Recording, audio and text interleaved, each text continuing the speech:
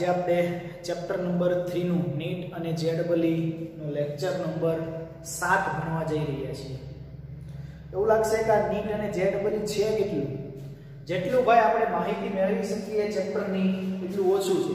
જેટલી માહિતી આપણી પાસે રહેશે, કોઈ પણ ચેપ્ટરની એટલું વધારે આપણે નીટ અને જેડબલીની અંદર લખી શકશું, વધુ સારા માર્ક્સ લઈ આવશું. ઓકે તો સ્ટાર્ટ કરીએ લેક્ચર નંબર 7 તમે દરેક ચેપ્ટર નંબર 3 ની અંદર જે ભણી ગયા છે આપણે આવર્ત કોષ્ટકની જે પ્રોપર્ટી આપણે ભણીને આવ્યા છીએ, તે જ પ્રોપર્ટીનો આપણે અભ્યાસ કરવાનો છે. તેમાંની એક પ્રોપર્ટી જે હતી, તે પરમાણ્વીય ત્રિજ્યા શું હતું? પરમાણ્વીય ત્રિજ્યા. હવે આ પરમાણ્વીય ત્રિજ્યા આપણે જે ચેપ્ટરની અંદર ભણી ગયા, એ તો ઠીક છે ભાઈ, ગુજરાત બોર્ડ મુજબ આપણે ભણી લીધું. તો ત્યાં પરમાણ્વીય ત્રિજ્યાની આપણે વ્યાખ્યા એવી આપતા હતા કે ભાઈ, પરમાણ્વીય ત્રિજ્યા કહેવાય કોને? તો એવું કહેતા હતા કે કોઈ આ એક કેન્દ્ર છે, કેન્દ્રની આજુબાજુ કોણ હોય? ઇલેક્ટ્રોન હોય.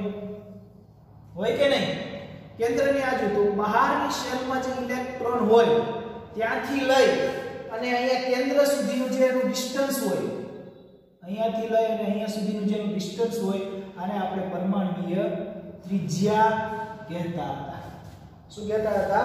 પરમાણ્વીય ત્રિજ્યા કે કેન્દ્રથી લઈને આઉટર મોસ્ટ સેલ એટલે કે બહારની કક્ષામાં રહેલો જે છેલ્લો ઇલેક્ટ્રોન છે, એ છેલ્લા ઇલેક્ટ્રોનથી લઈને કેન્દ્ર સુધીનું જે ડિસ્ટન્સ છે જેમનું અંતર છે જેમની લંબાઈ છે, તેને આપણે પરમાણ્વીય ત્રિજ્યા કહેતા હતા.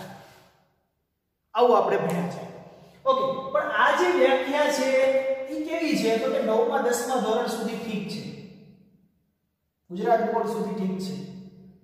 પણ હકીકતમાં આવું છે નહીં. હવે આપણે ચેપ્ટર 2 ભણીએ છીએ એટોમિક સ્ટ્રક્ચર પરમાણુનું બંધારણ. તો આપણને ખબર છે કે ઇલેક્ટ્રોન છે બહારની કક્ષામાં સ્થિર નથી. અને ઇલેક્ટ્રોન કેવો છે? વેવ છે. તરંગ સ્વભાવ ધરાવે. ધરાવે ને?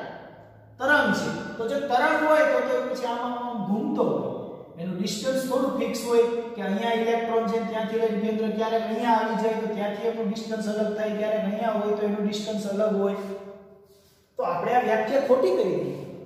કે બિલકુલ એવું તો થતું નથી કે ભાઈ કે બહારની કક્ષામાં ઇલેક્ટ્રોન ફિક્સ હોય, ત્યાંથી લઈને અહીંયા સુધી ડિસ્ટન્સ માપી લઈએ અને પરમાણુય ત્રિજ્યા આપણે કહી દઈએ. એટલા માટે અપવાદ વધારે આવે છે.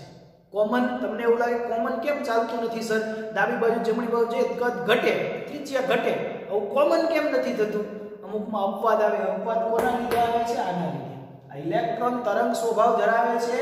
આના કારણે આમની આઉટર મોસ્ટ સેલ જે બહારની કક્ષા છે, તેમાં ઇલેક્ટ્રોન ફિક્સ નથી. એ કેવો તરંગ સ્વભાવ ધરાવે છે? બહાર ગમે ત્યાં આટા મારતો હોય છે, તો એમની ત્રિજ્યા બદલશે. તો ચાલો, તો હવે આ બદલતી ત્રિજ્યા છે, તો ગણવી કઈ રીતે ત્રિજ્યા. નીટ અને જે ડબલ ઈ માટે જ હું વાત કરું છું. એટલે આપણે માત્ર ને માત્ર નીટ અને જે ડબલ ઈ પૂરતું સમજવાનું છે. તો હવે એમની પરમાણવીય ત્રિજ્યા જે છે તે કઈ રીતે ફેરફાર થશે? પરમાણવીય ત્રિજ્યાની ગણતરી કઈ રીતે કરવી હવે તો પરમાણવીય ગણતરી ત્રિજ્યાની ગણતરી કરવા માટે આપણે શું લેવું પડશે? બંધાયેલો ઇલેક્ટ્રોન લઈ લઈએ. આપણે શું લઈ લઈએ? બોન્ડિંગ થયેલો ઇલેક્ટ્રોન લઈ લઈએ એટલે આ સમસ્યા કેવી થઈ જાય આપણી? દૂર થઈ જાય. આ તો ઇલેક્ટ્રોન મુક્ત હતો અને વ્યાખ્યા આપણે આપી દીધેલી હતી. હવે કેવો લઈએ? બોન્ડેડ ઇલેક્ટ્રોન લઈએ. કે બંધવાળો ઇલેક્ટ્રોન આપણે લઈ લઈએ. ચાલો. તો પરમાણુય ત્રિજ્યાની અંદર કેવો ઇલેક્ટ્રોન આપણે લઈ લઈએ? બોન્ડેડ ઇલેક્ટ્રોન લઈએ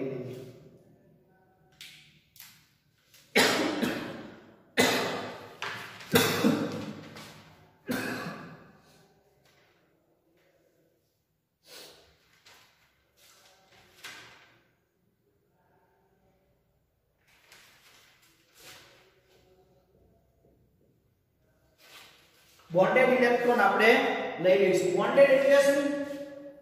તો કે બંધ બનાવેલો ઇલેક્ટ્રોન કેવો? બંધ બનાવેલ ઇલેક્ટ્રોન લઈ લઈએ. આપણે ત્રિજ્યાની વાત જ કરવાની છે, પણ કેવી કરવાની છે? બંધ બનાવેલા. તો બંધ કેટલા પ્રકારના હોય? બંધ પહેલા આપણે લઈએ સહસંયોજક ત્રિજ્યા. કઈ લઈ લઈએ? સહ સંયોજક ત્રિજ્યા. સહસંયોજક ત્રિજ્યાનો અભ્યાસ કરીએ. ત્યાર પછી આપણે ભણશું વાન્ડરવાલ્સ ત્રિજ્યા. ત્યાર પછી આપણે ભણશું ધાત્વીય ત્રિજ્યા. આયોનિક ત્રિજ્યા પણ આવશે આપણે ઓકે, પણ આ ત્રણ પહેલા ભણી લઈએ. સહસંયોજક ત્રિજ્યા. પરમાણુની ત્રિજ્યા છે. સહસંયોજક સહસંયોજક એટલે કેવો? સહસંયોજક સરખો બંધ બનાવે, સરખી ભાગીદારી કરીને જે બંધ બનાવે તેને આપણે સહસંયોજક બંધ કહીએ છીએ. તો ચાલો સહસંયોજક બંધની અંદર ભણીએ. તો આ જે સહસંયોજક બંધ જે આપણો છે, તે સરખા પરમાણુઓની ભાગીદારી, સરખા ઇલેક્ટ્રોનની ભાગીદારીથી જે બંધ બને તેને સહસંયોજક બંધ કહેતા હતા. આપણે ભણવાની છે સહસંયોજક ત્રિજ્યા. તો સહસંયોજક ત્રિજ્યાની અંદર હું એવું કહી શકું કે ભાઈ બે એટમ લઈ લો, બે પરમાણુ લઈ લો. આ બે પરમાણુ લઈ લીધા. આ એમનું કેન્દ્ર છે. આ પણ એમનું કેન્દ્ર છે. આનું કેન્દ્ર એ કહી દઉં, આનું પણ કેન્દ્ર એ કહી દઉં. કેમ કે સરખા કેન્દ્રનો હું ઉપયોગ કરું છું, એટલે સરખા પરમાણુ લીધા. કેવા લીધા છે? સરખા પરમાણુ સરખા પરમાણુનો મતલબ આ હાઇડ્રોજન હોય તો આ પણ કેવો છે?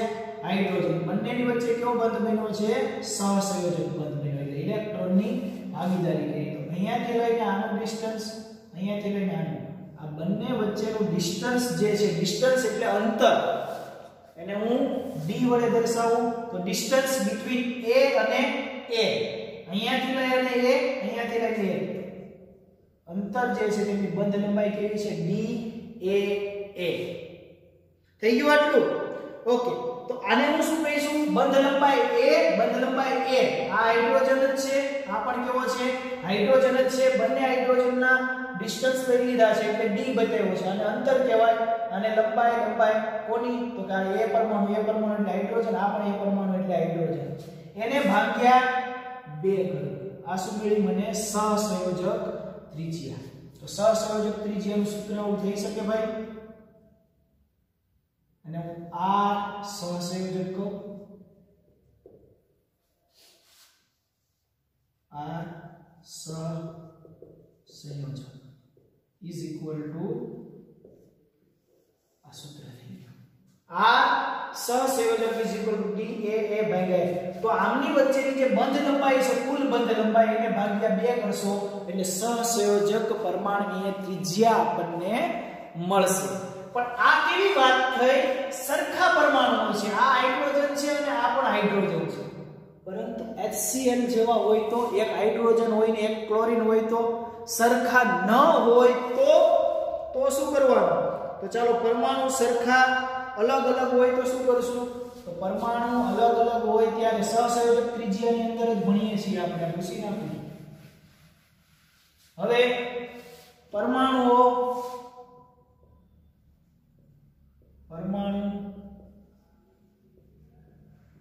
સરખા ન હોય ત્યારે.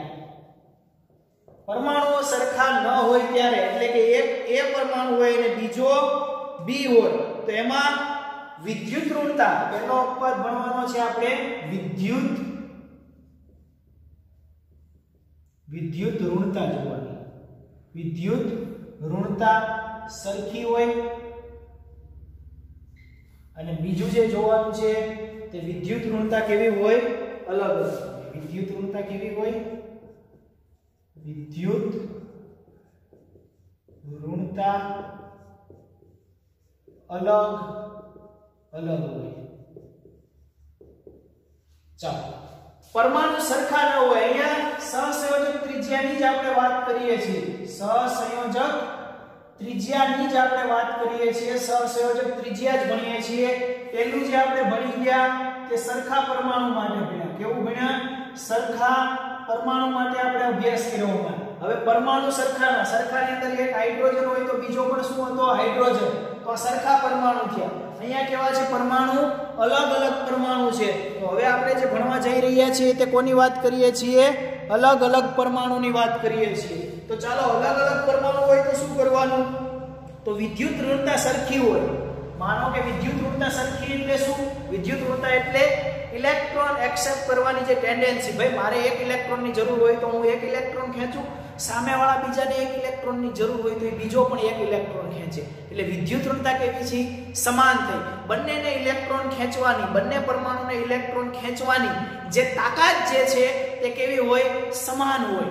તો અહીંયા કીધું છે કે વિદ્યુત ઋણતા સરખી હોય. માનો કે આ કોઈ એક એ પરમાણુ છે અને બીજો કેવો છે? બી પરમાણુ છે. કેવો છે? બી છે. બે અલગ અલગ કીધા ને, પરમાણુ સરખા એ પરમાણુ છે અને આ બી પરમાણુ છે. તો આની અને આની બંનેની સરખી તાકાત છે, વચ્ચે સહસંયોજક બંધ જ બનાવવાનો છે. કેમ કે આપણે સહસંયોજક ત્રિજ્યા ભણી રહ્યા છીએ. તો આમનું અને આમનું જે ડિસ્ટન્સ છે ડિસ્ટન્સ કઈ રીતે માપશો? તો કે ડિસ્ટન્સ એ અને બી ભાગ્યા 2 તો આમનું સૂત્ર પણ પહેલા જેવું થશે, કેવું થશે? r સહસંયોજક કેવું થશે? ડિસ્ટન્સ a b ભાગ્યા 2 ab એટલે આમની a અને b વચ્ચેની બંધ લંબાઈ એને ભાગ્યા 2 હવે એક્ઝામની અંદર તમને આપી દે કોઈ બે પરમાણુ વચ્ચેની બંધ લંબાઈ આટલી છે, તો તેમની ત્રિજ્યા કેટલી હશે? તો કઈ નહીં કરવાનું. જે બંધ લંબાઈ આપે એમને ભાગ્યા 2 કરી દેવાના. અથવા તો અલગ અલગ આપે તો તો શું કરવાનું? સરવાળો કરવાનો આ બે. અહીંયા એની તમને પાંચ આપી દે બી ની દસ આપી દે કે કે ત્રિજ્યા શોધો તો એ પ્લસ બી કરીને ભાગ્યા બે કરવાના. આવડી જાય આટલું તો? ઓકે તો આ થઈ સરખાની વાત કરી દીધી આપણે. કે સરખા હોય તો આપણે આવું લખી શકીએ. પરંતુ વિદ્યુત ઋણતા અલગ અલગ હોય તો શું કરવું? વિદ્યુત ઋણતા અલગ અલગ હોય તો શું કરવું? ઉદાહરણ તરીકે હું એવું લઉં કે મારી પાસે કોઈ આ એ અણુ છે, એની વિદ્યુત ઋણતા કેવી છે? એની વિદ્યુત ઋણતા વધારે છે કોના કરતા? બી કરતા. વિદ્યુત ઋણતાને ઇંગ્લિશમાં ઇલેક્ટ્રિક કરતા એની એટલે કોઈ એક પરમાણુ કરતા બીજા પરમાણુની વિદ્યુત ઋણતા વધારે છે, તો એવાની અંદર શું થશે? એની વધારે છે. એ શું કરશે? વધારે ખેંચશે આ બાજુ. તો આ એ તરફ વધારે આવશે પરમાણુઓ, બીજો સામેવાળો પરમાણુ. તો આ એનું કેન્દ્ર અને આ બીનું કેન્દ્ર. આવું થાય. બંને અલગ અલગ પરમાણુ છે, અલગ અલગ પરમાણુ છે, પરંતુ આમની અંદર વિદ્યુત ઋણતા કેવી છે? અલગ અલગ એની વધારે છે ઇલેક્ટ્રોન વધારે. અહીંયા તો સમાન હતી તો સરખું બોન્ડિંગ થયું. અહીંયા પણ સમાન હતી તો સરખું બોન્ડિંગ થયું. અહીંયા વધારે છે સહસંયોજક બંધન બનાવશે પણ વધારે એ તરફ ખેંચાશે. તો એવાની અંદર કઈ રીતે ગણતરી કરશું આપણે? તો આપણે એટલું તો ચોક્કસ કહીશું કે ડિસ્ટન્સ છે ડિસ્ટન્સ a અને b તો આપણે ગણીએ છીએ કે ડિસ્ટન્સ આ a અને b વચ્ચે આટલું છે બંધ લંબાઈ a અને b ની બંધ લંબાઈ. આટલું તો કરશું. પણ એનું સૂત્ર કંઈક આવું છે કે ડિસ્ટન્સ ડિસ્ટન્સ એટલે લંબાઈ. A, b is equal to ત્રિજ્યા a એની ત્રિજ્યા પ્લસ b ની ત્રિજ્યા હજી સૂત્ર નહીં સામે થોડું આ બાજુથી લખો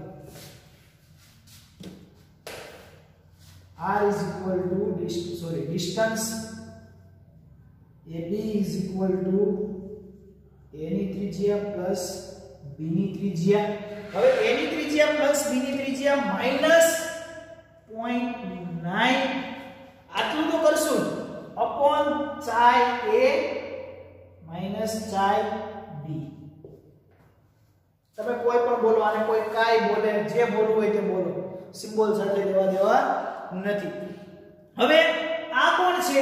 a અને b આ સૂત્ર થઈ ગયું, વિદ્યુત ઋણતા અલગ અલગ હોય ત્યારે તેમની ત્રિજ્યા ગણવા માટેનું. આ a અને b કોણ છે? તો કે a પરમાણુની ત્રિજ્યા અને b પરમાણુની ત્રિજ્યા. બંનેની ત્રિજ્યા છે, એનો સરવાળો કર્યો. માઇનસ માઇનસ શું છે ભાઈ? આ પ્રાયોગિક વેલ્યુ લખેલી છે 0.9 minus 0.9 upon chi a minus chi b. તો ડિસ્ટન્સ બિટવીન a અને ડિસ્ટન્સ બિટવીન b. બંનેનું લંબાઈ a ની બંધ લંબાઈ આટલી છે, b ની બંધ લંબાઈ આટલી છે. તો આ શું બતાવે છે? લંબાઈ બતાવે છે. શું બતાવે? લંબાઈ. બંને લંબાઈ બતાવે અને આ શું બતાવે છે? ત્રિજ્યા બતાવે. આવી રીતે ગણતરી કરો. એટલે તમને મળશે એમની વચ્ચેનું એમની વચ્ચેનું ત્રિજ્યા મળશે બંનેની. આ ત્રિજ્યા કઈ રીતે મળશે? તો આ સૂત્રની કિંમત મૂકશો આ બધાની. આ બધું તમને આપી દીધેલું હોય ભાઈ. અને સૂત્ર બધી કિંમત આપી દીધેલી હોય, પણ સૂત્ર આપણે જાણતા હોઈએ તો ગણતરી કરી શકીએ. કેવું કે, આ ઉદાહરણ તરીકે HCl આપી દીધો તમને. નો ભાઈ. HCl છે હાઇડ્રોજનની વિદ્યુત અલગ છે, ક્લોરીનની વિદ્યુત પણ અલગ છે, HCl ની અંદર. ક્લોરીન અને હાઇડ્રોજન બંનેની વિદ્યુત ઋણતા વધારે છે. આપણને દરેકને ખબર છે કે ક્લોરીન છે ઇલેક્ટ્રોનને ખેંચે છે. તો અહીંયા એ ને હું ક્લોરીન કહી દઉં બી ને હું હાઇડ્રોજન કહી દઉં. તો હવે આમની અંદર એમને હાઇડ્રોજનની પરમાણુય ત્રિજ્યા તમને આપી દે, ક્લોરીનની પરમાણુય ત્રિજ્યા તમને આપી દે, આમનું ડિસ્ટન્સ આપી દે, આમનું ડિસ્ટન્સ આપી દે, એટલે કે અંતર લંબાઈ તમને આપી દે, પછી એમ કહે કે આખા અણુની, આખા આખા અણુની ત્રિજ્યા ગણો. તો આ સૂત્રમાં કિંમત મૂકી દેવાની. એટલે આપણી થઈ જશે ગણતરી. સર, આનો પ્રશ્ન કરાવો ને પ્રશ્ન આપણે કરશું. પહેલા ત્રણે ત્રણ ત્રિજ્યા તો ભણી લઈએ, સહસંયોજક, પછી કઈ છે વાન્ડરવાલ્સ આ બધી ત્રિજ્યા આપણે ભણી લઈએ, પછી પ્રશ્નો સોલ્વ કરીએ. ત્યાર પછી આવે છે આપણી વાંડર વાલ્સ ત્રિજ્યા. કઈ આવે છે? વાંડર વાલ્સ આકર્ષણ બળ તમે જે ભણ્યા હતા ને ચેપ્ટર નંબર 3 ની અંદર, તો વાન્ડરવાલ્સ બળ છે કેવું હોય? અણુ અણુ વચ્ચે પ્રવલતું એક નબળું આકર્ષણ બળ છે. તો હવે આપણે વાત કરીએ વાન્ડરવાલ્સ ત્રિજ્યાની.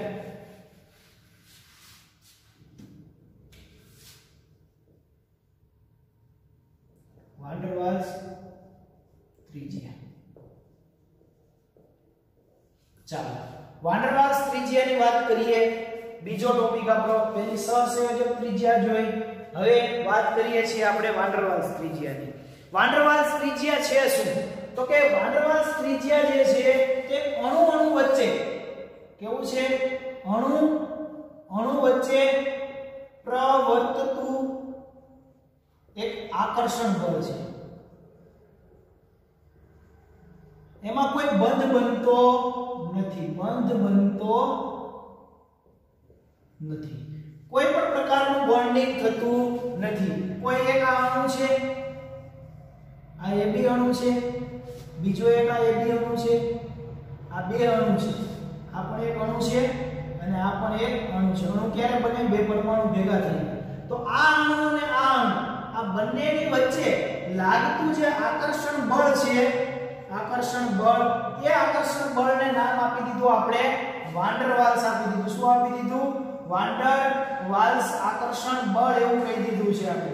તો આ વાન્ડર વાલ્સ આકર્ષણ બળ છે તે અણુ અણુ વચ્ચે પ્રવર્તતું આકર્ષણ બળ છે. કોઈ પણ અણુ હોય AbH2 ઓકે H2 H2 લઈ લો. હું એમ કહું કે આ પણ એક H2 નો અણુ છે, બીજો પણ એક H2 નો અણુ છે. તો આ H2 અને આ H2 વચ્ચે લાગતું જે આકર્ષણ બળ છે, એમને વાન્ડરવાલ્સ નામના વૈજ્ઞાનિકે શોધેલું એટલે એનું નામ આપી દીધું.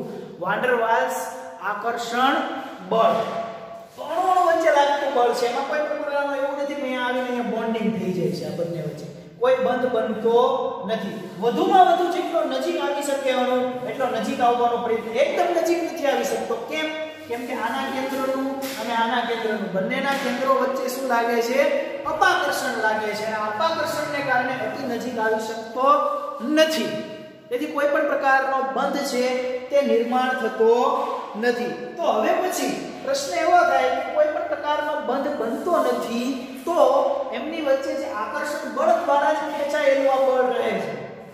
તો ત્રિજ્યાની ગણતરી કઈ રીતે કરવી? કઈ રીતે ત્રિજ્યાની ગણતરી પછી આવી રીતે કરવાની? ભાઈ, જુઓ. આ H2 છે, આ H2 છે, આ આમનું કેન્દ્ર છે, આ આમનું કેન્દ્ર છે, આ પણ A છે, આ પણ A છે, આ A થી લઈ અને A. આ બંને વચ્ચેનું ડિસ્ટન્સ H2 H2 વચ્ચેનું ડિસ્ટન્સ શું થશે બંને વચ્ચેનું ડિસ્ટન્સ? તો ચાલો જોઈ લઈએ. તો R van der Waals is equal to શું થશે?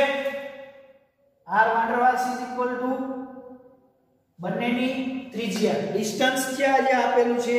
એમની વચ્ચેનું અંતર અંતર DH2 DH2 બંને વચ્ચેની જે ત્રિજ્યા છે સોરી DH2H2 બંને વચ્ચેનું ડિસ્ટન્સ DH2 DH2 અપોન 2 તો આ મળશે આપણને વાન્ડર વાલ્સ ત્રિજ્યા. આમનું અને આમની વચ્ચેની બંધ લંબાઈ ભાગ્યા 2 એટલે કઈ નહીં ભાઈ, આ બંધ લંબાઈ તમને આપી દીધેલી હોય, એના ભાગ્યા 2 કરવાના. એટલે આપણને મળશે વાન્ડર વાલ્સ ત્રિજ્યા. કઈ મળશે? વાંડરવાલ ત્રિજ્યા. ચાલો, તો હવે બધાને ખબર પડી જાય કે ભાઈ વાંડરવાલ ત્રિજ્યા છે પણ ઘણા બધા અણુઓ આપી દે પ્રશ્ન કેમ પૂછે? આવી રીતે ઘણા બધા અણુઓ આપણને આપી દે આવી રીતે અણુઓ આપી દે ઘણા બધા. આ એક અણુ આપ્યો, એ બી. અહીંયા એક અણુ આપી દીધો, એ બી. અહીંયા એક અણુ આપી દીધો, હજી એક એ બી. અને એવું કીધું છે કે બી અને બીની ત્રિજ્યા શોધો. પરમાણુ બી અને ડી વચ્ચેની ત્રિજ્યા શોધો. તો શું કરવાનું? કે આ બી અને આ બી. જે ત્રણ ચાર અણુ આપી દીધા હોય તો નજીક નજીક વધુ હોય ને એ લીધી લેવાનું. તો આ B નું કેન્દ્ર અને આ B નું કેન્દ્ર. બંને વચ્ચેની ત્રિજ્યા. તો અહીંયા આપ લખે D ડિસ્ટન્સ બિટવીન BB અથવા તો ખાલી આમ લખી શકો. ભાગ્યા 2 રેડિયસ કોની છે? વાંડરવાલ્સની આ થઈ ગયું. આ સૂત્ર ઉપરથી ડિસ્ટન્સ બંને વચ્ચેનું ભાગ્યા 2 અથવા એમ કીધું હોય a અને એ પરમાણુ વચ્ચેની ત્રિજ્યા શોધો. તો આ એનું કેન્દ્ર અને આ પણ એનું કેન્દ્ર. પણ આ ડિસ્ટન્સ જોવો તો તમે વધારે છે. એના કરતા આ ડિસ્ટન્સ કેવું છે? ઓછું છે. તો ઓછું જે અંતર હોય તે આપણે લેવાનું. તો આ લેવાનું. તો અહીંયા શું લેવાનું? ડી એ એ ભાગ્યા 2 વાન્ડરવાલ્સ ત્રિજ્યા. તો એ છે r વાન્ડરવાલ્સ આ થઈ ગયું વાન્ડરવાલ્સ ત્રિજ્યા. તો વાન્ડરવાલ્સ ત્રિજ્યા દરેકને ગણતા આવડી જાય. ઓકે અણુ અણુ વચ્ચે લાગતું એક આકર્ષણ બળ છે તે તમારે યાદ રાખવાનું છે. ચાલો અહીંયા મને એક વસ્તુ એ બતાવો કે હવે વાંડરવાલ્સ ત્રિજ્યા મોટી કે સહસંયોજક ત્રિજ્યા મોટી? વાંડરવાલ્સ ત્રિજ્યા મોટી હોય કે સહસંયોજક ત્રિજ્યા મોટી હોય? કઈ ત્રિજ્યા મોટી હોય? કોની ત્રિજ્યા મોટી હોય? કોની ત્રિજ્યા મોટી હોય. વાંડરવાલ્સ કે સહસંયોજકને ઇંગ્લિશમાં કહેવાય કોવેલેન્ટ. ઓકે? વાંડરવાલ્સ ત્રિજ્યા મોટી હોય કે કોવેલેન્ટ મોટી હોય? સહસંયોજક ત્રિજ્યા મોટી હોય કે વાંડરવાલ્સ મોટી હોય? તો દરેકને ખબર છે કે સહસંયોજક જે છે તે અણુ અણુ, પરમાણુ, અણુ શું થઈ જાય છે? મિશ્રણ થઈ જાય છે. એટલે એકદમ નજીક નજીક આવી જાય છે. કેન્દ્ર તરફ આકર્ષાઈ જાય છે. એટલે કદ કેવું થાય? નાનું થાય. જ્યારે વાટરવાલ્સ કેવો છે? આવું છે. બે અણુઓનું અણુ વચ્ચે લાગતું. એટલે આમનું ડિસ્ટન્સ છે કેવું હોવાનું? મોટું હોવાનું. હવે આમની વચ્ચેનું ડિસ્ટન્સ મોટું હોય તો વિચાર કરો કે આની ત્રિજ્યા પણ કેવી હોય? મોટી. તો વાટરવાલ્સ છે એ ઓલવેઝ મોટો હોય. કોવેલેન્ટ સહસંયોજક કરતા સહસંયોજક કરતા વાન્ડરવાલ્સ ત્રિજ્યા છે, કેવી હોય? વાન્ડરવાલ્સ મોટી હોય. સહસંયોજક ત્રિજ્યા કરતા વાન્ડરવાલ્સ ત્રિજ્યા છે, હંમેશા હંમેશા હંમેશા મોટી હોય. પ્રશ્ન તમને બધા બંધ આપીને જ પૂછશે. નીટ અને જે ડબલની અંદર સીધે સીધું એવું નહીં કે પિરિયોડિક ટેબલનું તત્વ આપીને ઉપરથી નીચે એટલે આવું બાજુ જમણી બાજુ જઈએ એટલે આવું. એ બધું બોન્ડિંગ કરીને પ્રશ્નો પૂછશે કે સહસંયોજક આપેલા સહસંયોજક બંધની અંદર ત્રિજ્યાનો ક્રમ લખો. તો સહસંયોજક બંધ ખબર પડવી જોઈએ. સહસંયોજક બંધ જે આપણે ભણશું ડિટેલમાં ચેપ્ટર નંબર 2 ની અંદર. વાન્ડરવાલ્સ ત્રિજ્યા, પણ આપણને ખબર તો હોવી જોઈએ ને. કોઈ જગ્યાએ અણુ આપેલો, કોઈ જગ્યાએ પરમાણુ આપેલો, તો મોટા નાનાની તો ખબર પડી જાય, તો પ્રશ્ન એમને એમ સોલ્વ થઈ જાય. એટલે સહસંયોજક ત્રિજ્યા કરતાં વાન્ડરવાલ્સ ત્રિજ્યા કેવી હોય? મોટી હોય છે. ચાલો, એના પછી આગળ એક આવે છે ધાત્વીય ત્રિજ્યા. કઈ આવે છે? વાંડરવાલ પછી ત્રીજા નંબર ઉપર આવે છે ધાત્વીય ત્રિજ્યા. ધાત્વીય ત્રિજ્યા. ત્રણ આપણું ધાત્વીય ત્રિજ્યા. હવે સહસંયોજકની અંદર તો બોન્ડિંગ થાય છે. સહસંયોજકની અંદર બંધ બને છે. પણ વાંડરવાલ્સની અંદર કોઈ પણ પ્રકારનો બંધ બનતો નથી. તો ધાત્વીય ત્રિજ્યાની અંદર કોઈ બંધ બને છે? ના, એમાં પણ કોઈ બંધ બનતો નથી. શું હોય? તો કે ધાતુ છે. ધાતુ તત્વ આવી રીતે ગોઠવાયેલો હોય. માનો લો કે લોખંડ લઈ લો, આયન. તો આયન બધા આવી રીતે નજીક નજીક નજીક નજીક 3D માં ગોઠવાયેલા હોય. આ બધા આયનો ગોઠવાયેલા છે. આ બધા ધાતુના ટુકડાઓ છે. એમાં શું હોય? તો કે ધાતુનું કેન્દ્ર હોય, કેન્દ્રમાં શું હોય? પ્રોટોન હોય. હોય કે ના હોય? આ બધે કેન્દ્રમાં પ્રોટોન હોય. પછી શું હોય? તો કે કેન્દ્રની ફરતે બહાર શું હોય? ઇલેક્ટ્રોન હોય. બધી ધાતુમાં ફરતા શું હોય? ઇલેક્ટ્રોન. અને આ ઇલેક્ટ્રોન બધે જ ભ્રમણ કરતા હોય. અહીંયા આવે અહીંયા આવે અહીંયા આવે. ધાતુની સપાટી ઉપર ઇલેક્ટ્રોન શું કરતા હોય? ભ્રમણ કરતા હોય. તો આ ધાતુ જે છે, એ ધાતુનું કેન્દ્ર અને એની સપાટી, આ બીજી ધાતુ અને એનું કેન્દ્ર અને એના ઇલેક્ટ્રોન. આ ત્રીજી ધાતુ, એનું કેન્દ્ર અને એના ઇલેક્ટ્રોન આ ચોથી ધાતુ, એનું કેન્દ્ર અને એના ઇલેક્ટ્રોન ધાતુનો એક સમુદ્ર હોય છે, એ સમુદ્રની અંદર આ જે ઇલેક્ટ્રોન છે શું કરતા હોય? ભ્રમણ કરતા હોય છે. આ ઇલેક્ટ્રોન કેવા હોય? મુક્ત ઇલેક્ટ્રોન હોય. તો આ તો બધા કેન્દ્રો છે. આકર્ષણ ધરાવે કે ના ધરાવે? તો આનો ઇલેક્ટ્રોન આના કેન્દ્ર સાથે આકર્ષણ ધરાવે કે ના ધરાવે? આનો ઇલેક્ટ્રોન આના કેન્દ્ર સાથે આકર્ષણ ધરાવે તો આનો ઇલેક્ટ્રોન આના કેન્દ્ર સાથે આકર્ષણ ધરાવે. આનો ધન વીજભાર છે, આના ઋણ વીજભાર સાથે આકર્ષણ ધરાવે તો આનો ઋણ વીજભાર, આના ધન વીજભાર, આની સાથે. તો એકાબીજાની સાથે આકર્ષણ બળ લાગે છે. અહીંયા શું છે? બોન્ડિંગ કોઈ પ્રકારનું થતું નથી. શું થાય છે? ધાતુઓ, એક ધાતુ બીજી ધાતુ સાથે આકર્ષણ બળ આયન જે છે લોખંડ. તો લોખંડની અંદર આયન આયન આયન બધા જ આયન છે એકબીજા સાથે જકડાયેલા રહે. તો એમની વચ્ચે એમને જોડી રાખવા વાળો કોણ છે? ઇલેક્ટ્રોન છે. આ ઇલેક્ટ્રોનને કારણે ધાતુઓ છે જોડાયેલી રહે. એ બંધનું નામ આપવામાં આવ્યું ધાત્વીય બંધ. શું આપવામાં આવ્યું? ધાત્વીય બંધ. એ જે જોડી રાખે છે, તેને આપણે શું કહીએ છીએ? ધાત્વીય બંધ કહીએ છીએ. ધાત્વીય ત્રિજ્યા કઈ રીતે ગણશું તો કે આપણને ધાત્વીય બંધ ખબર પડી ગઈ. હવે ધાત્વીય બંધની અંદર સિમ્પલ ભાઈ કે એક મેટલ જે છે ડિસ્ટન્સ બિટવીન આને હું a કહું, આને પણ હું a કહું. તો ડિસ્ટન્સ બિટવીન એ એ ભાગ્યા 2 આ કી થઈ ગયું મેટાલિક તો મેટાલિક ત્રિજ્યા કહેવાય અને R M M metal metal એટલે ધાતુ. Is equal to એને ભાગ્યા 2 તો આ બંને વચ્ચેનું બંધ લંબાઈ એને ભાગ્યા એને ભાગ્યા શું કરશું? D એ એ છે. અહીંયાથી લઈને અહીંયા સુધી એને ભાગ્યા 2 એટલે તમને ધાત્વીય ત્રિજ્યા મળશે સૂત્ર બહુ સરળ છે. સરળ છે, પરંતુ પ્રશ્ન પૂછાઈને આપણે જાણતા ન હોય એટલે અટવાઈ જઈએ. ચાલો, આ થઈ ગઈ આપણી ધાત્વીય ત્રિજ્યા. હવે ધાત્વીય ત્રિજ્યા તો આપણે ભણી લીધી. હવે એ બતાવો કે કોની ત્રિજ્યા મોટી હોય? કોની ત્રિજ્યા મોટી હોય? કોની ત્રિજ્યા મોટી હોય? કોવેલેન્ટ વાન્ડરવાલ કે મેટાલિક સહસંયોજક કોવેલેન્ટ એટલે કોણ? સહસંયોજક વાંડરવાલ્સ અને ધાત્વીય આમાંથી કોણ મોટું હોય? કોની ત્રિજ્યા વધારે હોય? આ ત્રણમાંથી કોની ત્રિજ્યા મોટી હોય? કોની મોટી હોય? તો આપણને ખબર છે કે સૌથી વધારે વાંડરવાલ્સ જ હોવાનો, કોણ હોવાનો? વાન્ડરવાલ ત્રિજ્યા સૌથી મોટી, કેમ કે એમના ખૂબ દૂર દૂર હોય છે. પછી ધાતુની અંદર કેવું હોય કે ધાતુનો સમુદ્ર આમ એકબીજાને અડકીને અડેલી હોય ધાતુ ધાતુ. એટલે એના પછી કોણ આવશે? મેટાલ અને સૌથી ઓછી કઈ ત્રિજ્યા હોય, સહસંયોજક. સહસંયોજકની અંદર અણુનું શું થઈ જાય છે? પરમાણુનું આવું મિશ્રણ થઈ જાય છે. એટલે એમનું કદ એકદમ નાનું આવશે. એટલે કોવેલેન્ટ આ થઈ ગઈ સહસંયોજક, આ થઈ ગઈ ધાત્વીય અને આ થઈ ગઈ વાંડરવાલ્સ તો વાંડરવાલ્સ સૌથી મોટી ત્રિજ્યા હોય, એનાથી નાની મેટાલિક એટલે કે ધાત્વીય અને એનાથી નાની કોવેલેન્ટ એટલે કે સહસંયોજક ત્રિજ્યા હોય છે. આટલું આપણને ખ્યાલ હોવો જોઈએ.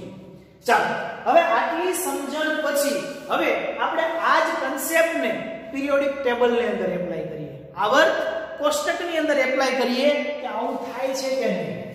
ચાલો, ધાત્વીય ત્રિજ્યા, હજી એક આયનની ત્રિજ્યા આવશે, એને ભણશું ડિટેલમાં પણ આટલું ભણ્યા, એટલું પહેલા એપ્લાય કરી લઈએ આવર્ત કોષ્ટકની અંદર.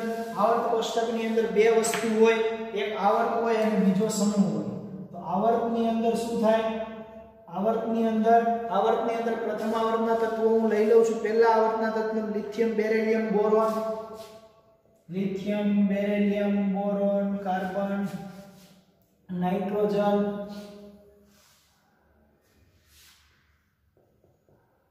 chlorine અને નિયમ આનો પરમાણુ ક્રમાંક 3 4 5 6 7 8 9 અને 10 આ Z પરમાણુ ક્રમાંક થઈ ગયો. ઓકે હવે આવર્તમાં સહસંયોજક ત્રિજ્યા અને આ બધી ત્રિજ્યાનો કઈ રીતે ફેરફાર થઈ પછી જોઈએ. પરંતુ આપણે કોમન એવું ભણ્યા હતા કે ડાબી બાજુથી આ ડાબી બાજુ છે. ડાબી બાજુથી જમણી બાજુ જ્યારે જઈએ, ત્યારે શું થાય છે? એનું કદ નાનું થતું જાય છે. કદ નાનું થવાના કારણે શું થાય છે? નાનું કદ થાય એના કારણે ત્રિજ્યામાં શું થાય છે? ઘટાડો થાય છે. શું કામ ત્રિજ્યાની અંદર ઘટાડો થાય?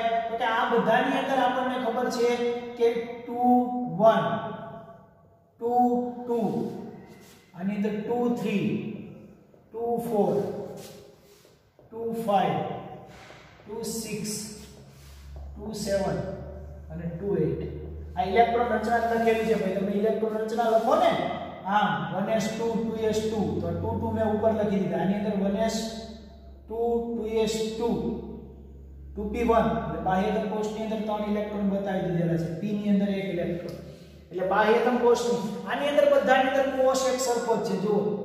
K અને l. બધાની અંદર કોષ એક જ સરખો છે. બે, એક જ, બે બે કોષ દરેકની અંદર આવેલા છે આવી રીતે. કોષ કેવા છે બધાની અંદર? બે બે કોષ આવેલા છે આવી રીતે, બધાની. પણ આપણને ખબર છે કે કોષ તો બધાના સરખા છે. અહીંયા જુઓ, બધાની અંદર બે બે કોષ આવેલા છે. તો કોષ બધાના સમાન છે, તો ત્રિજ્યાની અંદર ઘટાડો કઈ રીતે થાય છે? તો અહીંયા ત્રિજ્યાને ઘટાડો કરવા વાળો એનો વીજભાર છે. કોણ છે? એમની ઉપર રહેલો વીજભાર. આપણને ખબર છે કે લિથિયમ ઉપર +1 છે, આના ઉપર +2 આના ઉપર +3 +4 બધાનો આપણને વીજભાર ખબર છે. શું થાય છે? લિથિયમની અંદર ઇલેક્ટ્રોન જે છે, એ ઇલેક્ટ્રોન કેન્દ્રથી થોડો દૂર છે. એટલું બધું આકર્ષણ ધરાવતો નથી. એ શું કામ? કારણ કે આની અંદર પ્રોટોનની સંખ્યા કેટલી છે? 3 છે. જ્યારે ઓક્સિજનની અંદર પ્રોટોનની સંખ્યા કેટલી છે? 8 છે. આઠ પ્રોટોન કોષ તો એનો છે, ઇલેક્ટ્રોનને વધારે ખેંચે કે ત્રણ પ્રોટોન ઇલેક્ટ્રોનને વધારે ખેંચે? તો આમનો કેન્દ્રીય વીજભાર જે છે, કેન્દ્રીય વીજભાર શું થાય છે? વધે છે. ડાબી બાજુથી જમણી બાજુ જતા કેન્દ્રીય વીજભાર વધે. એટલે પ્રોટોનની સંખ્યા વધે છે, એટલે આકર્ષણ વધે છે. અને આકર્ષણ બળ વધવાના કારણે શું થાય છે? એનું કદ નાનું થતું જાય છે. અહીંયા ફ્લોરિનની અંદર નવ પ્રોટોન છે, એટલે ફ્લોરિન ઓક્સિજન કરતા ફ્લોરિનની અંદર શું છે ભાઈ? 9 પ્રોટોન છે. 9 પ્રોટોન છે 8 પ્રોટોન કરતા વધારે છે? એટલે આના કરતા આનું કદ નાનું, એના કરતા પણ આનું કદ નાનું થશે. તો આપણે એવું કહીએ છીએ કે પ્રોટોન વધે છે. ડાબી બાજુથી જમણી બાજુ જતા શું થાય છે? પ્રોટોન વધે છે. પ્રોટોન વધે, એના કારણે ન્યુક્લિયર વીજભાર શું થાય છે? વધે છે. રસાયણ વિજ્ઞાનની ભાષામાં ન્યુક્લિયર વીજભાર કહેવાય, કેન્દ્રીય વીજભાર વધે છે. ન્યુક્લિયર એટલે કેન્દ્રીય વીજભાર વધે કેન્દ્રીય વીજભાર શું થાય છે? વધે છે. બીજી વસ્તુ, ઇલેક્ટ્રોનનું આકર્ષણ શું થાય છે? ઇલેક્ટ્રોનનું આકર્ષણ વધે. ડાબી બાજુથી જમણી બાજુ જઈએ, ઇલેક્ટ્રોનનું આકર્ષણ વધે. અને ઇલેક્ટ્રોન શું થાય? ઇલેક્ટ્રોન કેન્દ્રની નજીક આવે. આના કારણે એની ત્રિજ્યામાં શું થાય? એટોમિક રેડિયસની અંદર શું થાય? પરમાણુય ત્રિજ્યામાં શું થાય છે? પરમાણુય ત્રિજ્યામાં શું થાય છે? ઘટાડો થાય છે. ડાબી બાજુથી જમણી બાજુ જતા શું થાય છે? આના કારણે ડાબી બાજુથી જમણી બાજુ જતા પરમાણુય ત્રિજ્યાની અંદર શું થાય છે? ઘટાડો થાય છે. એવી જ રીતે સમૂહની અંદર શું થાય? સમૂહની અંદર સમૂહની અંદર તો ભાઈ સરળ છે. હાઇડ્રોજન, લિથિયમ, સોડિયમ લઈ લો. હાઇડ્રોજન, લિથિયમ, સોડિયમ લઈ લો.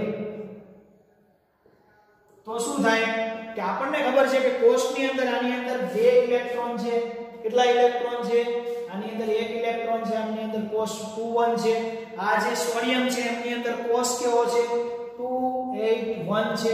એટલે અહીંયા cos 1 છે, અહીંયા બે cos છે, અહીંયા કેટલા છે?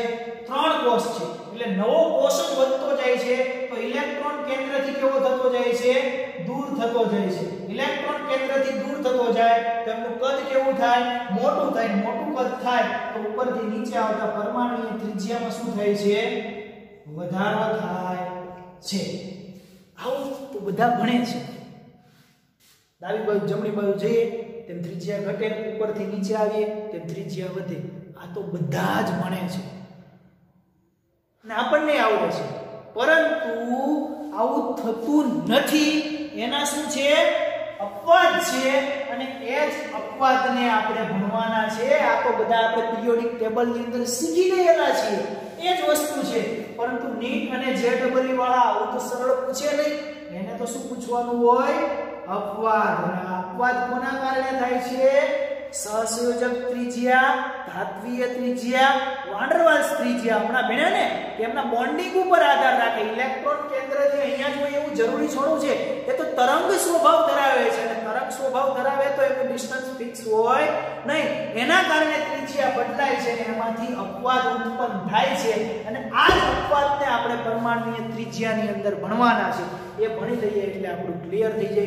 તો ચાલો મસ્ત મજાના. હવે આપણે જે સહસંયોજક ધાત્વીય સહસંયોજક ધાત્વીય અને ત્રિજ્યા જે આપણે ભણ્યા છીએ, તે વાન્ડરવાલ ત્રિજ્યા આ ત્રણે ત્રણ ત્રિજ્યાઓ હવે કઈ રીતે અપવાદમાં કામ આપે છે, આ ખૂબ અગત્યનું હોય. આ જે અપવાદ આવે ને, એ ખૂબ, પણ અપવાદને ખાલી ગોખી નાખવાથી કંઈ થતું નથી. અપવાદ પાછળનો જે કન્સેપ્ટ છે, તે સમજવો પડે. એ અપવાદ એટલે આમ એમને ઉપર છેલ્લું મૂકી દીધેલું ના હોય. એનો ખ્યાલ હોવો જોઈએ. ધાત્વીય વાન્ડરવાલ્સ અને જે ધાત્વીય વાતરવાસ અને સહસંયોજક આ જે ત્રણ ત્રિજ્યા છે, એના કારણે ઉત્પન્ન થતા હોય છે. તો એ ત્રિજ્યા આપણે હવે ભણી ગયા, એટલે એને એપ્લાય કરશું, એટલે આપણને ખબર પડશે કે એમની ત્રિજ્યાની અંદર કયો ફેરફાર થાય છે. તો અપવાદ આઈએમપી લેક્ચર નંબર 8 ની અંદર હવે આપણે ભણશું.